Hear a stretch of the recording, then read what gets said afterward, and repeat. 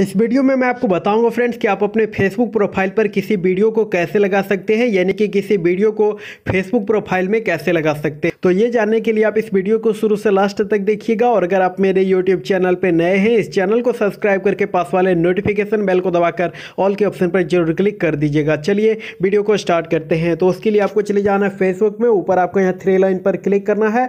उसके बाद फ्रेंड्स एक बार आपको यहाँ अपने आई के नाम पर क्लिक करना है। उसके बाद फ्रेंड्स आपका यहाँ प्रोफ़ाइल ओपन हो जाएगा। अब फ्रेंड्स आपको अपने प्रोफ़ाइल पर किसी वीडियो को लगाने के लिए आपको यहाँ ये कैमरा वाले आइकन पर क्लिक कर देना है। उसके बाद फ्रेंड्स आपको यहाँ ऑप्शन मिल जाएगा सिलेक्ट प्रोफ़ाइल वीडियो का। तो आपको इस पर क्लिक करना है। उसके बाद फ्रेंड्स, आपके फ़ोन में जितने भी वीडियो होंगे, वो सारे वीडियो यहाँ पर आ जाएँगे। तो अब आपको जिस भी वीडियो को अपने फेसबुक प्रोफ़ाइल पर लगाना है, उसको आप यहाँ से सेलेक्ट करिए। एग्ज़ाम्पल के लिए मैं यहाँ से इस वीडियो को सिलेक्ट कर लेता हूँ। तो फ्रेंड्स सेलेक्ट कर देने के बाद आपको यहाँ सेव सेव के ऑप्शन पर क्लिक कर देना है। उसके बाद फ्रेंड्स, आपके फेसबुक प्रोफ़ाइल पर वो वीडियो ऐड हो जाएगा। तो फ्रेंड्स, यहाँ पर कुछ टाइम ले रहा है क्योंकि नेट काफ़ी स्लो है।